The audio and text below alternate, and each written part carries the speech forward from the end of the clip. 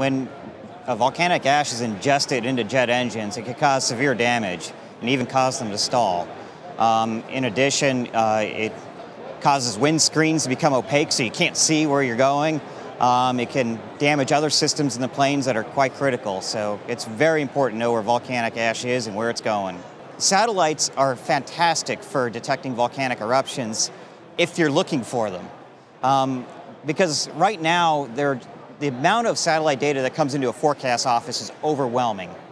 Forecasters can't always be looking at it. And so what we need to do is, and what we're working on, is we're building computer algorithms that will actually go in and automatically detect volcanic eruptions um, and alert forecasters when they're detected so that we, we don't have missed eruptions and uh, ultimately we keep air traffic safer.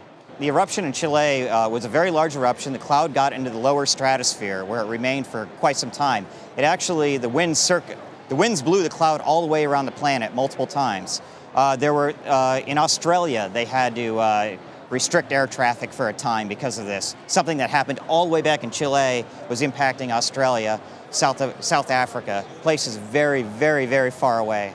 But at the same time, this other event happens. And so we need to be able to not only track clouds we know about, but look for ones that we, we need the ability to uh, find the unexpected. There was an eruption in June uh, of a volcano called Nabro that had never erupted historically before, so nobody was looking for an eruption.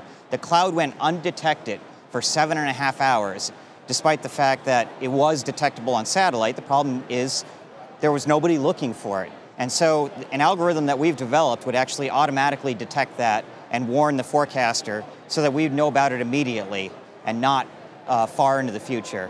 With the next generation of satellites, we're going we're to have images more frequently and we're going to have them at more wavelengths. So it means we have the ability to detect clouds in a more timely manner and we could characterize their properties more accurately. We'll, we'll get better cloud height information than we could get from today's sensors. We'll get better information about how much volcanic ash is there. We're going to get information about uh, sulfur dioxide gases that we cannot get from our current uh, weather satellites in geostationary orbit. There's going to be a whole slew of new capabilities.